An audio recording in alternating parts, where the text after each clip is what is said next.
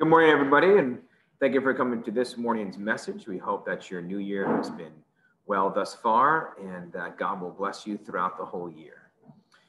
Today, I want to talk about trust, trusting in the Lord specifically, especially at the beginning of the new year. It's one of the chief and cardinal things to remember.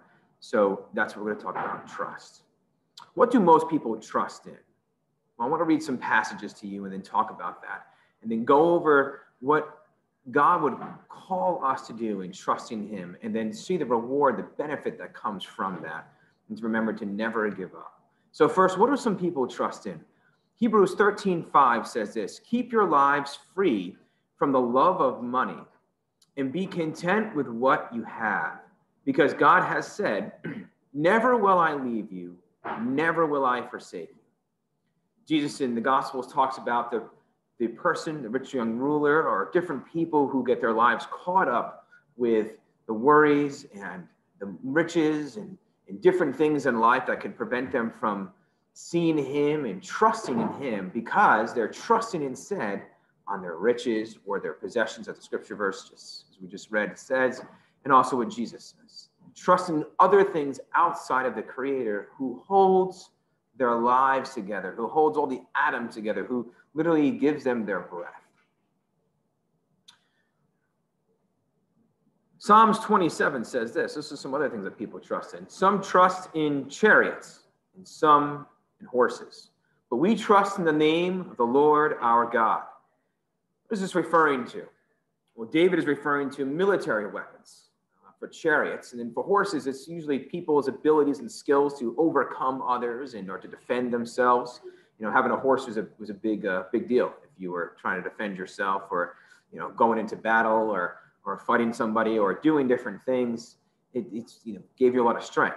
Horses are known for strength. Do we do that today? Do we focus on our military? Do we say, oh, our military, make sure it's really strong because we're trusting in that?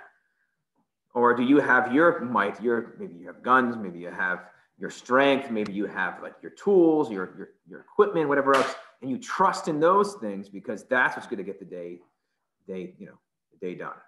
So you're able to get you through your day, all that stuff. Well, David is saying, you know what? Someone who was one of the greatest warriors of all time, possibly the greatest warrior of all time, he said, no, don't trust in your chariots. Don't trust in your horses. Trust in the name of the Lord your God. What does he mean by that? We're look at that. What is the name of the Lord your God? How do you, why does that matter? I mean, military matters. You know, your tools matter. Your trucks matter. If you want to get the job done, your your your different things that you have in your life, your your system, network, whatever you have that gives you strength that gets you gets the job done. Those things matter. But David is saying, no, trust in the name of the Lord. What does he mean? Then First John 5 1 says this Dear friends, do not believe every spirit. And this could be not just spirit, but also like philosophies and things that people believe in their mind that get into their mind. But test the spirits, he says, to see whether they are from God, because many false prophets have gone out into the world. And this is definitely the case now, right? We've had all kinds of people prophesy, all kinds of things. You've, you've heard of people saying things and doing things and, and, and said, oh, this is definitely the way, and oh, this makes a lot of sense, or, or this would be the good thing. But are we trusting those words? Some people really believe everything that everybody says. And then some other people, they, they, they believe what they want to hear. And that's not gullible people, but they believe what they want to hear. And then other people believe in things that they think hold up, but when it comes down to a test versus God and what they're believing in, it doesn't hold up. It doesn't, it's not the best way. It's not the most beneficial way. It's not the, the, the you know, the way it's going to lead to eternal life or life more abundantly now, as Jesus said he has come to give us. So, why do people do this? Well, primarily because they don't know God yet. So that's our job to go out and tell them about God and through our life show them the trust of God. Show them the practice and the patience of trusting in God. And that can be hard for us. It's very difficult at times to trust in God. We are all fallen creatures, myself included. We are all fallen and we all don't trust in God at times. We believe in ourselves, we believe in our military, we believe in our power, We believe in our money, we believe in all these different things, but God is calling us to trust in his name, as David said. Now, what does that look like? It's the next part of the message. What does that look like? I think the best way to look at that is, is by looking at this one proverb. This is a proverb from King Solomon. Proverbs 3 5 through 6. Trust in the Lord with all your heart. What's your heart? What's your heart, guys? Your heart is your mind, your emotions, your will, your inner workings of your, your inner person. And it's the center of it. It's like the it's the place where all that stuff is controlled. That center of who you are, your personality. First and foremost, trust in God. Recognize who He is, see Him for who He is, search Him, seek Him if you don't know Him, look for Him. Jesus says, if you knock, the door will be open. If you seek, you will find. Seek Him. And also for us who are, who are, who are believers in His name, do the same thing. Trust in Him in your heart. Know that He is God. He's the one that holds everything together. He's the one that gives you your breath. He's the one who started this whole thing. He's the one with all the intelligence you see and all the wonder, all the mystery and everything else and majesty. It all comes from Him. Trust in Him. Do you think He's created all these things in place, put them all in place, and then just walked away? Even if He did, you think there's a system there to support and help us out? Trust in Him. And lean not on your own understanding, is the next part of the verse. Lean not on your own understanding. This is the hard part. Now, why is it even saying this? It's because we will always default to that. Because when we say, okay, we're going to trust in God, I'm going to do this different thing, I'm going to, I'm going to do this thing with God, what ends up happening is we end up going, okay, now what am I going to do now about this? Now, how am I going to do this? And we start trusting in our own ways. Instead, what does his word say? What does his word say? It's called systematic theology. You can, if you really want to look into it, there's many different subjects in the Bible, and there's system, systematic look on all of it. And it's where you get the idea of the, the word interprets the word itself. It doesn't need any interpreter. It interprets itself through this systematic approach of looking at things, right? But there's more to it than just that. There's other aspects of the Bible that connect to those systematic things. And then really the big thing is you're walking with God. If you know God and believe in Him and trust in Him, you're going to have a spirit guiding you, as the word says, and leading you. You're going to be part of the biblical story that continually goes on as we walk with Him. And so, as you walk in, with God, He knows where you are. He knows where you're at in your growth and progress spiritually. He, he's there to lead you and guide you. You can trust in Him. You don't have to worry about this thing or that thing. You know, my son and my, my daughters right now, they're walking with, with me and my wife, and we are supporting them and helping them and say, as they walk. I know where they are. I know where they're going to some degree in, in their development and growth. I mean, you know, now God knows us fully. Do you think he's going to be any less concerned or, or, or, you know, helping us in any way? Do you think he's going to be any less a parent or a father or a support than we are? Of course not. So you can just trust in him. He knows where you're at. Lean not on your own understanding. Focus on his word. Focus on his spirit in your life. And then it says this in the next part of the verse in all your ways, submit to him in all of your ways. This is really interesting. It's a way of, of a way of testing the spirits as we were reading before. This is a way of making sure that you're trusting in him. You submit to him. Ask yourself, am I right now following God's word? So another thing I ask myself is, since we were given the Great Commission, and what am I about to do will that assist the Great Commission? Or like the big things that Jesus says is important to focus on faith and justice and righteousness. Is what I'm saying going to bring justice to this person? Is it going to bring righteousness? Is it going to bring salvation? Is it going to bring healing? See, Jesus' name means Jehovah saves, Jehovah delivers, Jehovah heals. And what am I is what I'm doing? Is it Great Commission involved? Is it going to bring about healing or salvation or support for this person? For everybody. Doesn't matter if it's your enemy or who it is. Am I applying and submitting to God's word in person and character in his name? Am I trust? This is what it means to trust in his name. As David has said, are you doing that? And this is the promise. This is a promise, everyone, that comes with this. He will make your path straight. Let me read the whole passage down again. Proverbs 3 5 through 6. Trust in the Lord with all your heart and lean not on your own understanding. In all your ways, submit to him, and he will make your paths straight.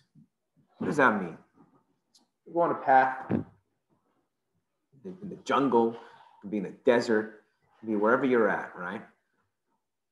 And the path you're on goes this way and that way. You don't know what's going to come around that bend. You don't know what's over that cliff. And sometimes there's some apprehension about what's going on over here, what's over there, right? This path that God is talking about, it's a straight path. Ever been that straight path? You can see far ahead of you. You can see what's coming far ahead of you. You know it's a straight path. It's smooth. It's nothing to worry about. It's an easy path. Doesn't that the path is easy following God, it's actually very difficult, but in God, in God, it's clear. You know what God has planned for you, His purpose for you, place where you fit your puzzle piece, the, the place that you're going. You can foresee ahead of time what's going to take place. He will make your paths straight. All right? Now, what is the benefit of that over a long period of time? And what is the benefit of that if you do that right now? I believe a good passage to look at is Psalms 1 and 2. But Jeremiah 17, 7 through 8 echoes what Psalms 1 says. It says, But blessed, this is Jeremiah speaking, but blessed is the one who trusts in the Lord, whose confidence is in him. They will be like a tree planted by the water that sends out its roots by the stream it does not fear what heat comes. Its leaves are always green. It has no worry in the year of drought or pandemic or economic depression or failure or social upheaval or anything. It has no worries in the year of drought and all these problems. It never fails to bear fruit. This is what happens when you trust in the Lord with all of your heart and lean not on your own understanding. In all your ways, submit to him, and he will make your path straight, and you will bear fruit in drought. You will continually bear fruit. You will continually produce. God will strengthen you. And it's just a miraculous thing. It might seem paradoxical. It might seem ridiculous. It might people might be like, bah! you know, and think it's ridiculous or whatever, and say all kinds of things about God. But you know what? Trust in God. Trust in God. Let me tell you about somebody who people ridiculed and put down and was like, oh, this is stupid. Uh, right? You ever hear of a guy named William Wilberforce? William Wilberforce spent his whole entire years and career in Parliament trying to free the slaves in the British Empire. At the very end of his life, instead of having a civil war like we had, one man trusted in God. We hear the song Amazing Grace? Well, that was his pastor. One man trusted in God, leaning on his pastor, leaning on the other abolitionists who were behind him, slaves and freemen, and other members of parliament, very few, supported him.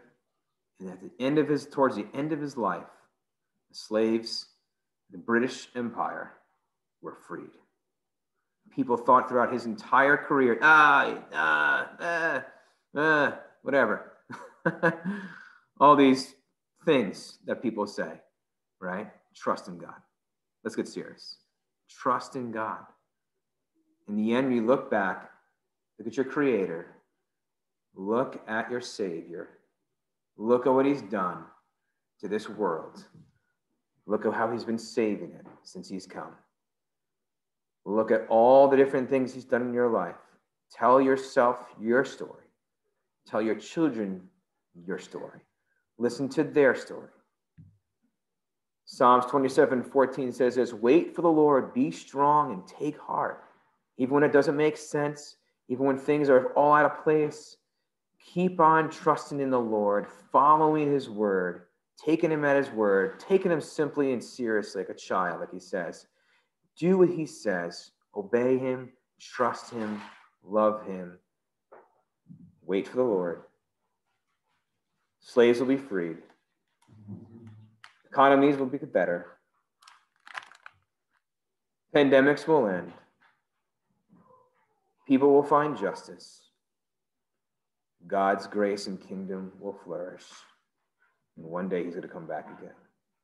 And all things will be changed. And you will see God's salvation in your own life. Can you do that today? And it all starts with trust. Lean in the Lord. Trust the Lord. God bless you all. Thank you for listening to the message. God be with you. Trust and obey. There's no other way to be happy in Jesus but to trust and obey. God bless you guys. Let your roots dig deep in Him. Peace be with you.